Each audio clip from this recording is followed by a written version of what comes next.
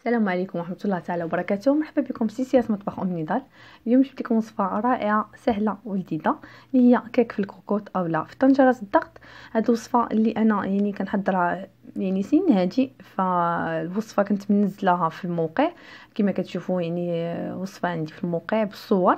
وبزاف منكم كيطلبوا لي أنني ننزلها فيديو فقررت أنني ننزلها كذلك عندي بزاف ديال الوصفات اللي نتوما كل مرة كطلبوا أنني ننزلهم لكم بالفيديو. فإن شاء الله غادي ننزلهم لكم. يعني كل مرة نحاول ناخذ وصفة من الموقع اللي بالصور وننزلها لكم فيديو. أه وبالنسبة لهذا الكيك كما كتشوفوا هذا هو الشكل ديالو النهائي. فكيجي رائع سهل ولذيذ وكيجي خفيف. يعني أه الكيك ديالنا كيجي خفيف وكيجي ناشف. أه وكما قلت لكم أنا وصفة اللي كنعتمدها كنديرها بزاف خصوصا في رمضان.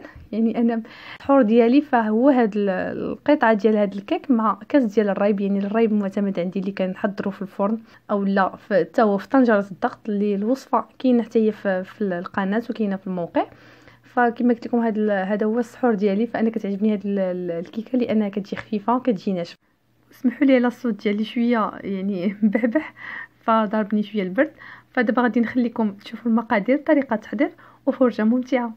كنحتاجو أربعة ديال البيضات كاس ديال السكر سنيده كنعبر بكاس ديال العنبة نص كاس ديال الزيت جوج ساشي ديال الخميرة ديال الحلوى ومعلقه ونص ديال الكاكاو الملح والدقيق تقريبا واحد جوج كيسان ديال العنبة ديال الدقيق. وندوزو نشوفو طريقة التحضير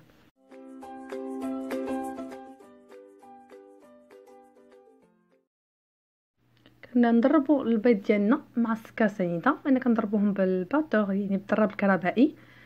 كنضربوهم مزيان وحنا كنضربوهم كنبداو نضيفو في الزيت تدريجيا ودائما وحنا كنضربو. اذا هذا الشكل ديال الخليط ديالنا بعد ما ضربناه. هنا غادي نضيفو الدقيق فكنضيف جوج كيسان ديال الدقيق.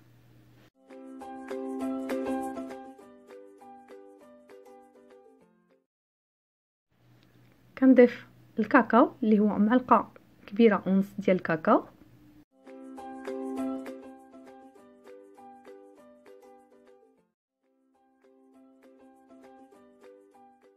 وكنضيف الخميرة وكنضيف الملح وكنخلط بخلاط يدوي هنا كناخذ معلقة ديال العود كنخلط هذا الخليط ديالي ما كنستعملش الكهربائي.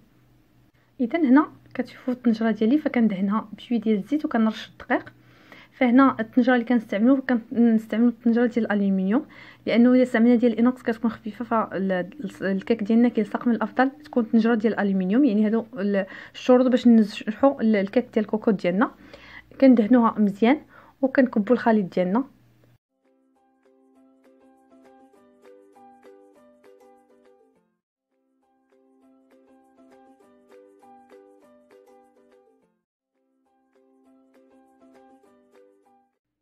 كنسدو الكوكوط ديالنا وهنا كما كتشوفوا ما كنوضعوش الصفارة كنخليو الكو... يعني الكوكوط ديالنا منين تنفس.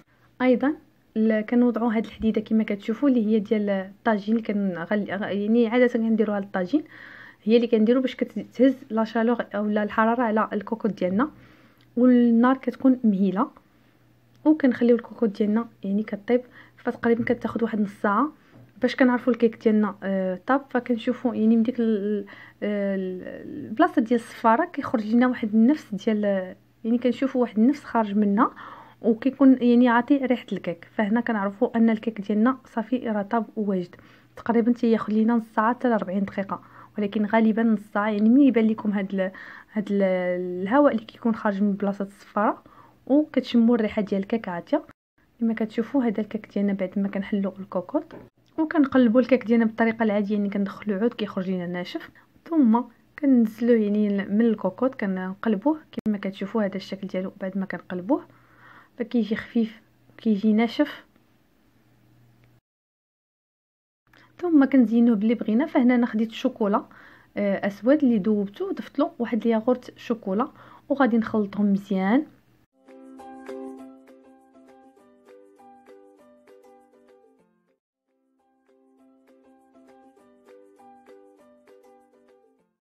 كنكب الخليط ديال الشوكولا ديالي مع الياغورت فوق الكيك وكنحاول أنني نسرحو مزيان.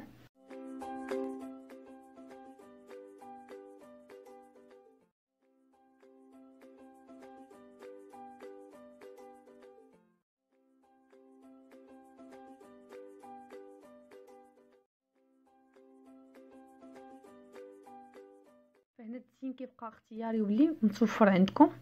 ثم غادي ناخذ شوكولا أبيض حتى هو اللي ذوبته في حمام مائي. وغادي ندوز نديرو في poche أو لا ديرو في بلاستيك وديرو شكلو تقيبه يعني غنحتاجو يعني نشكلو به خط. ثم كنشكل خط على زوايا كما كتشوفوا على هذا الشكل.